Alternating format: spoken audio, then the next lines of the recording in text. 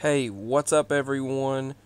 If you're anything like I am, you can't be the only one who is annoyed by the predictive text on your device. In this case, it's a Samsung Galaxy Tab A.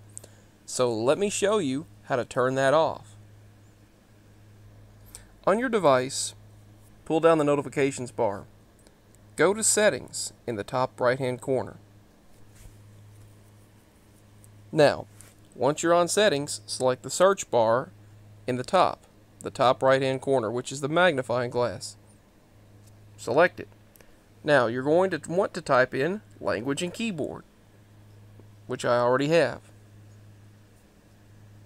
Let your device search for language and keyboard and select it under General Management. Select it again.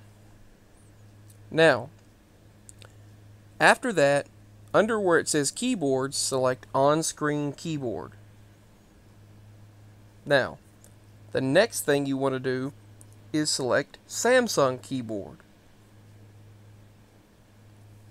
Now, you see where it says Smart Typing, Predictive Text, Auto Replace, and Text Shortcuts. Select it. Now, where it says show predicted text based on what you've entered, uncheck that. Now you're done. That is how to turn off predictive text on your Samsung Galaxy Tab A.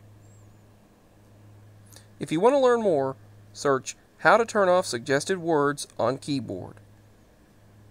And as you see, you still have the suggestions of your Google Chrome of all the sites that you have visited when not using private browser, but there are no more predictive texts on your keyboard. I hope this helped. Signing out.